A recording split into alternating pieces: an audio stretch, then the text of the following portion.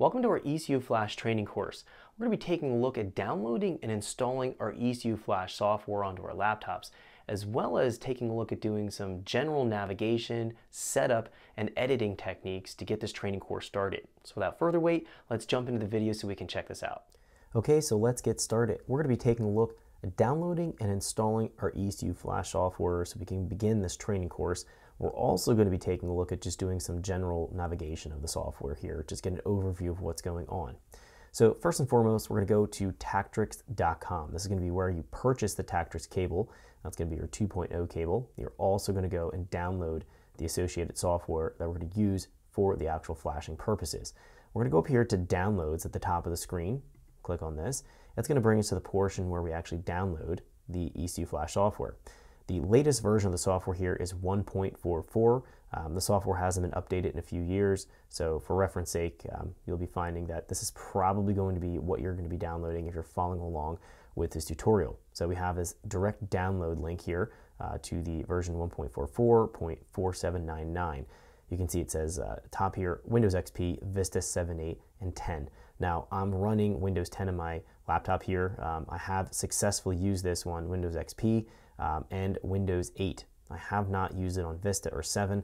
I know it can be a little bit buggy on those operating systems, just for reference sake. They also have an older version here. If you're using a Mac, um, they have a version 1.83, 1.38 that is OS X compatible, um, but it is not going to be compatible uh, with the uh, 2.0 Tactrix cable. So you have to use the older 1.3 cable.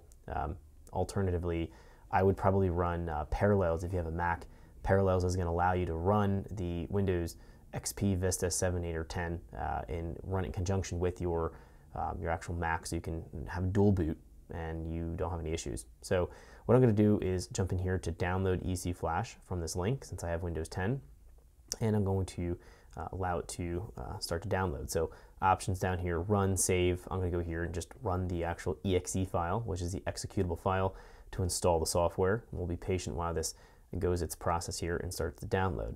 Um, we'll just give it a second.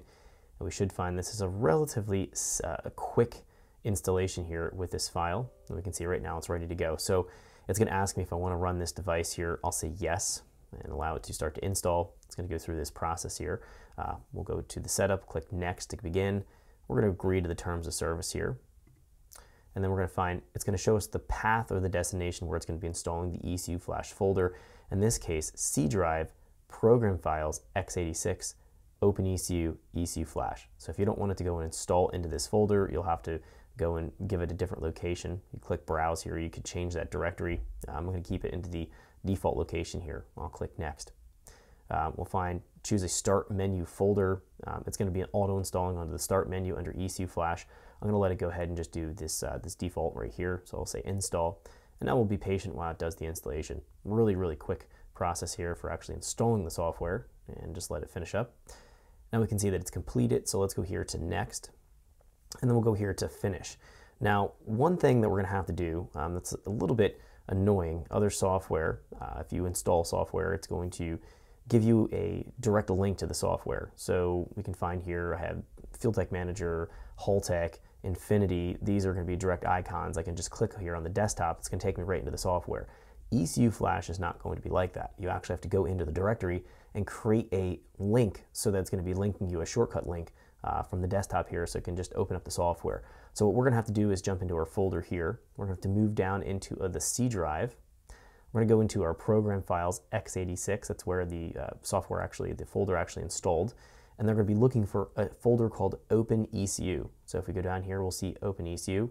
We'll double click this, and then we can see ECU Flash is going to be located in here. And then we'll find the actual ECU Flash program. It's going to have this little chip icon here. This is going to be what we look for. Now, what we have to do is create a shortcut link. So we're going to go right click here, and we are going to create a shortcut. So we can see create shortcut, and say Windows can't create a shortcut here. Do you want to do you want the shortcut to be placed on the desktop instead? And that's actually where I want to have it. So click yes.